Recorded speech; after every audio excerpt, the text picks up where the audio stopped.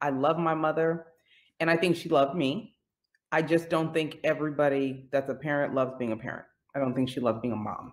What I mean by that is you might want the rewards of the duties and of the title, but not necessarily to have to carry out all those duties. And the lifestyle, her boyfriends and the people she surrounded herself with probably shouldn't have been around kids. Regardless, she did the best she could.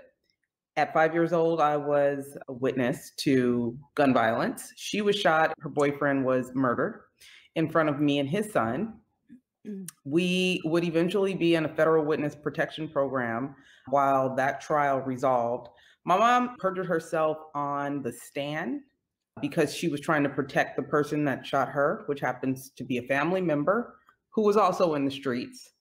Our family was pressuring her to, you know, lie to protect him. I think a lot of families have that code. We protect each other no matter what. And she did that. After we got out of federal witness protection program, we spent time in a federal prison for women with children because now she had to deal with a perjury charge. I'm five, six, seven, eight. I probably had about 21 residents before I was 18 to go to college and had encountered law enforcement over 100 times none in which were my fault. A few times I called myself. I used to use the phone where you dialed the zero. And. I will just never forget. And it wasn't even my mom's situation, it was my grandmother. So I came from a family of domestic violence. You learn that domestic violence isn't just spouse on spouse, it's not just boyfriend, girlfriend.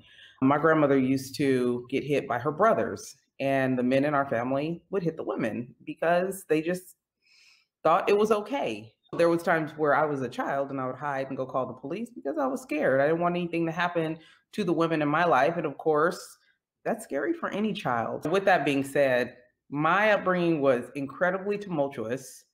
And I went for a long time thinking that that was normal. Like I just thought that's how it's supposed to be.